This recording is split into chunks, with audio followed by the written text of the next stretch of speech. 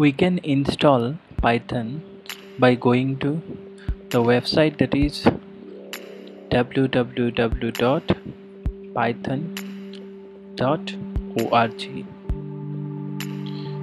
this is the official website for python. Python is open source software so we can download it for free. So let's go to the website. This is how the website looks and here we'll click on downloads. If you want to download for windows then click on downloads and click on windows. After clicking on windows downloads then you will get the latest versions of python in the top and other versions will be available there. If you want to install for 32 bit then you can download.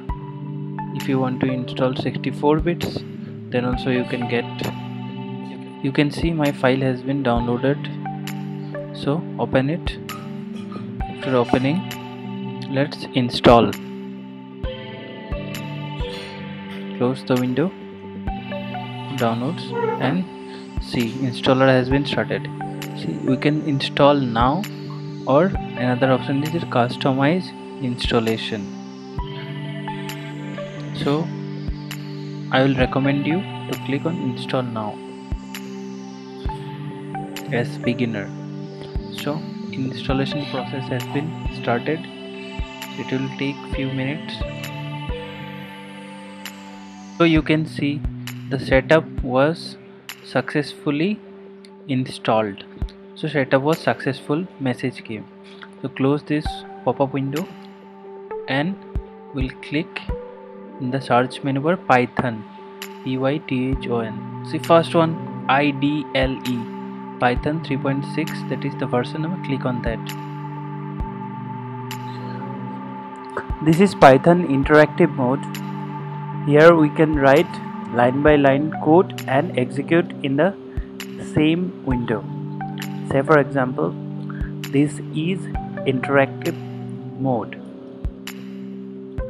if you want to print then we have to use print command.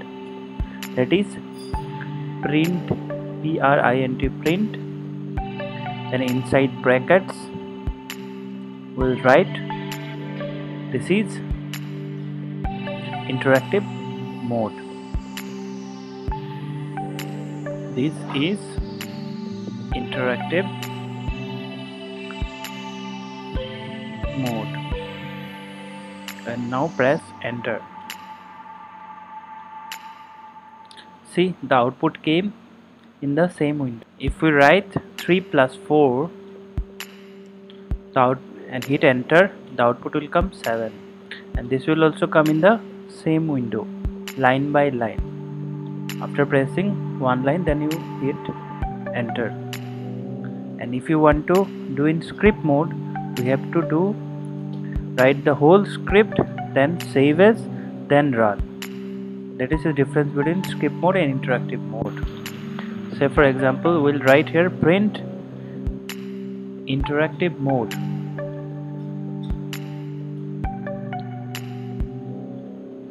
Same like earlier where we have done in interactive mode we'll do same in script mode also. Print inside bracket we'll write this is script mode.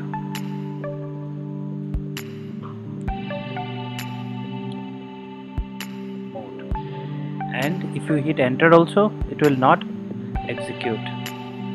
It will go in the next line. Again we'll write print 3 plus 4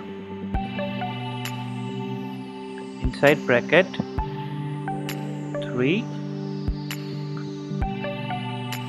plus 4